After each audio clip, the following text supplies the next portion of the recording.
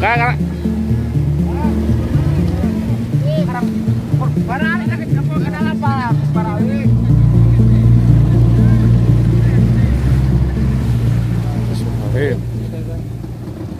Rizky Hadiansyah bin Rahmat wisatawan asal Bandung korban ombak laut kidul pantai Karangpapak, Kabupaten Garut, akhirnya ditemukan.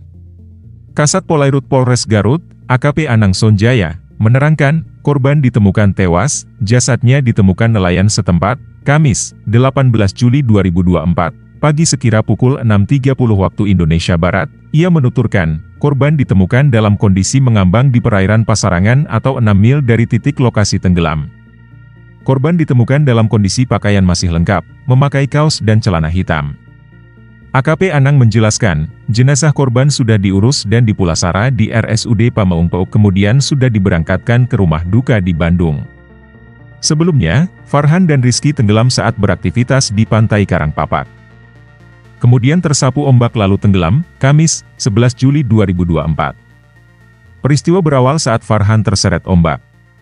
Rizky hendak dating menolong. Namun, Rizky malah turut terseret. Farhan sendiri sudah ditemukan dalam kondisi meninggal dunia pada Jumat pagi di radius 1 km arah barat. Rizky dan Farhan merupakan warga Jalan Awiligar, Kelurahan Cibeunying, Kecamatan Cimenyan, Kabupaten Bandung. terbaik evakuasi Download Tribun X sekarang. Menghadirkan lokal menjadi Indonesia.